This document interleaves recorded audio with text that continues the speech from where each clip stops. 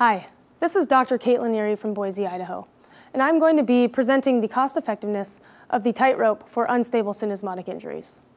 This was a question I sought out to answer a few years ago in order to contribute to the already growing body of evidence comparing screws versus tightrope suture button fixation for unstable syndesmotic injuries.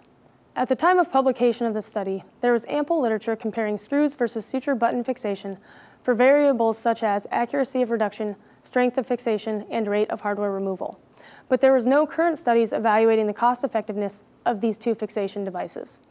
The purpose of this study was to evaluate and report the cost effectiveness of two common syndesmotic fixation methods, specifically a single tightrope suture button versus two 3.5 millimeter syndesmotic screws without routine planned postoperative hardware removal.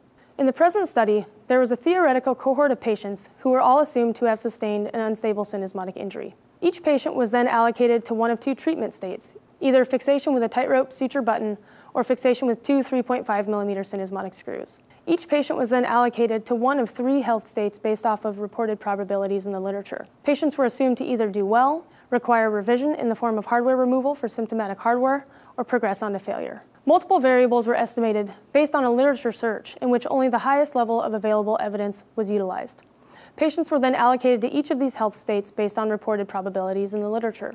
I chose a screw hardware removal rate of 20%, which was the mean reported in the literature. I also chose a suture button hardware removal rate of 4%, which was the mean reported in the literature. I defined failure as progression to end-stage arthritis and assumed this occurred in approximately 9% of patients.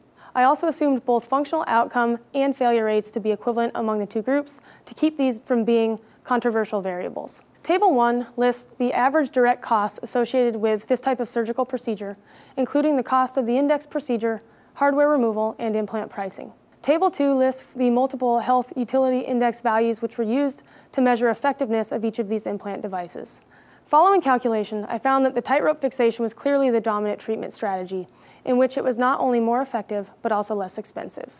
Patients with tightrope fixation, on average, spent $1,482 less with a higher quality of life by 0.058 quality adjusted life years over an eight-year time period. I then performed a sensitivity analysis in which the cost of the implant was varied from $880 all the way up to $2,000. And even at $2,000, the tightrope still remained more cost effective. I then ranged the screw hardware removal rate from 20% all the way down to 5%. And for screws to become more cost effective, you would have to have a less than 10% hardware removal rate.